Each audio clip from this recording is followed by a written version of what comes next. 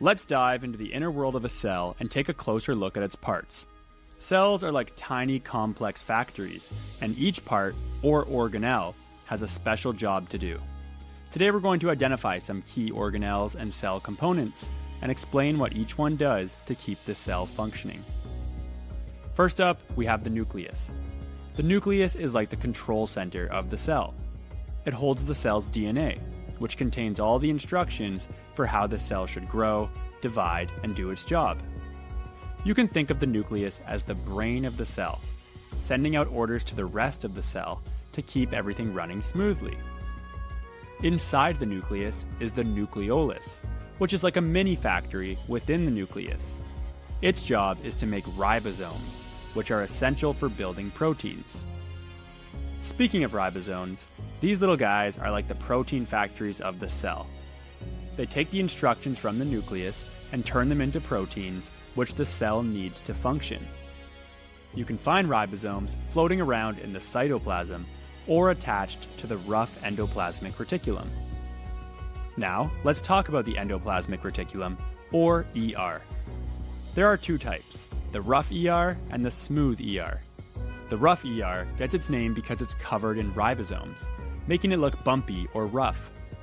It's responsible for assembling proteins and shipping them off to where they're needed.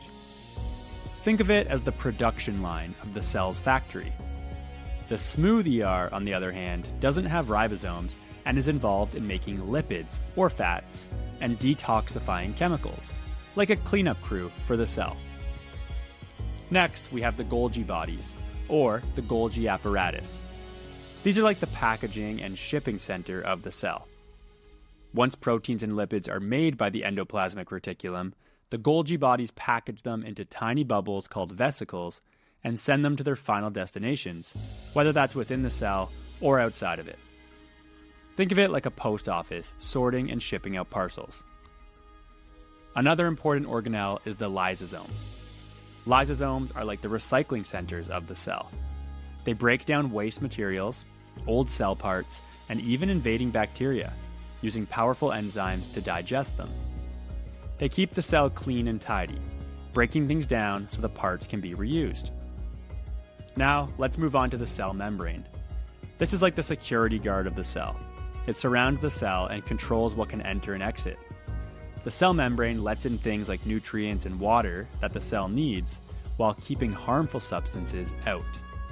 It also helps the cell communicate with other cells. If you're talking about plant cells, you've got an additional layer called the cell wall.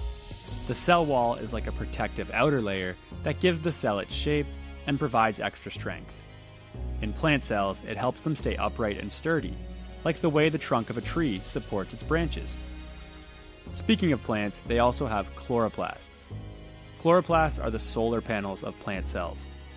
They capture sunlight and use it to make food for the plant through a process called photosynthesis.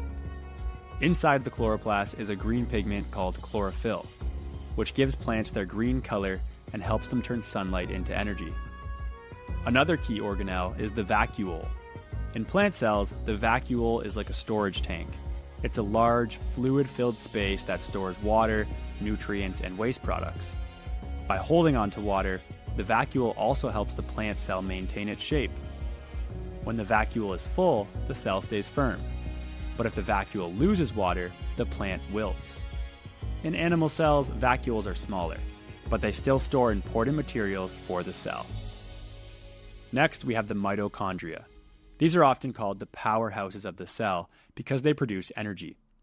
The mitochondria take in nutrients and break them down to release energy that the cell can use to do its work. Every cell needs energy to function, and the mitochondria are where that energy is made. Inside the cell, you'll also find the cytoplasm. The cytoplasm is the jelly like substance that fills the inside of the cell. It's mostly water, and it provides a medium for the organelles to float in.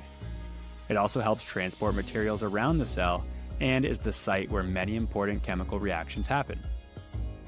So, what's the big picture? The nucleus, nucleolus, ribosomes, endoplasmic reticulum, Golgi bodies, lysosomes, cell membrane, cell wall, chloroplast, vacuoles, mitochondria, and cytoplasm are all essential parts of the cell, each with their own special role. The nucleus acts as the control center, the ribosomes and ER handle protein production, the Golgi bodies package and ship materials, and the lysosomes break down waste. The mitochondria create energy, and the cytoplasm provides a space for everything to float and function. Together, all these organelles keep the cell and the organism alive and healthy. That's it for today's lesson. Next time you think about cells, imagine them as tiny factories where every part is hard at work, keeping everything running smoothly.